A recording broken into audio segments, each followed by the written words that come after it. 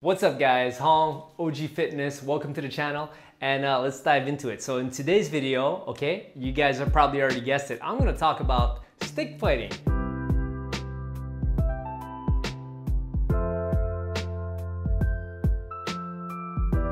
And this video is really about um, martial art or the best martial art to practice uh, while you're in quarantine. I decided to, you know, like, I can't really do any judo, right? Because you guys who know who know me, uh, I'm a judoka, and I mean, there's no mats, there's nobody to train with. There's, you know, I can do bands, and and of course I can do some shadow uh, uh, uchikomis and stuff like that, and you know, simulate uh, certain aspects of uh, judo training. But I mean, yeah, you know, it gets a little bit uh, old and boring.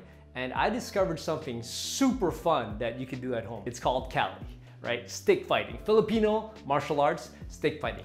It's fun. And why do I say that? Uh, I find this to be a really uh, cool way of um, passing the time. You need two sticks, right? Uh, these two sticks here, I you know noticed that uh, uh, they're just regular sticks. I actually went to, to a hardware store and I uh, cut myself, I, I bought a big piece of stick and I had them cut it there. Reason why I have duct tape on this, right? There's, a, I'll actually link a video that I found to show you how to make your own sticks without having to spend a lot of money, which is cool. The duct tape here is to make sure if you're practicing with a partner with two sticks, you're gonna be banging sticks together.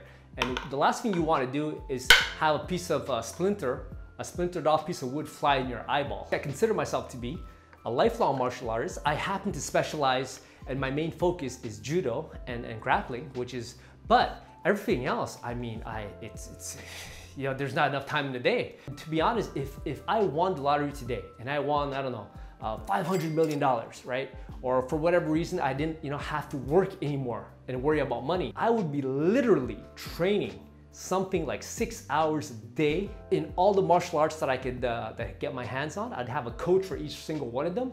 And then after that, I would spend the day, you know, resting, reading, studying, eating, and recovering. To get back to what I was saying as a martial artist, like there's a lot of aspects of fighting. But then after that, you get into the realm of self-defense and weaponry, right? Which is like part of it too. Like being a martial, martial is, is, is military. Yes, there's an aspect of the, the, the art aspect of it, uh, to it. But I mean, really, you have to understand warfare and stuff like that. And I, it all ties into me in my mind and it's all interesting. What I'm saying is that I've always wanted to learn these kind of things, but I never had time.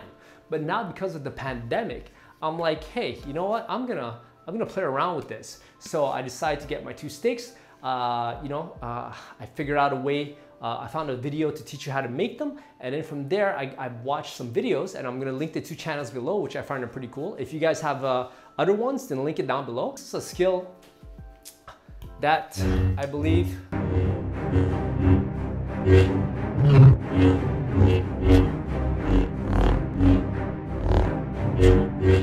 Anyways, of course, this is no substitute to actually, um, how do you say it, actually practicing in person with an instructor and having you know a, someone else in front of you but i mean at least it gives you something fun to do.